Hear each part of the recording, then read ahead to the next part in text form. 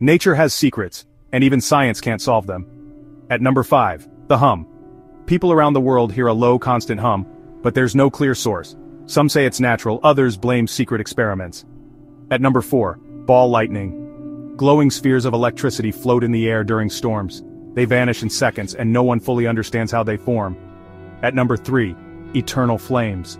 Like the one in Chestnut Ridge Park, United States. A flame burns right next to a waterfall, fueled by unknown underground gases. At number 2, the Taos Hum, New Mexico, United States.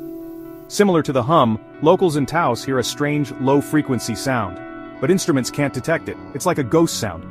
At number 1, Hessdalen Lights, Norway. Bright floating lights appear over this valley.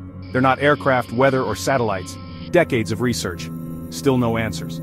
Nature is full of mysteries waiting to be solved. Which one blew your mind? Hit like and subscribe for more unexplained wonders.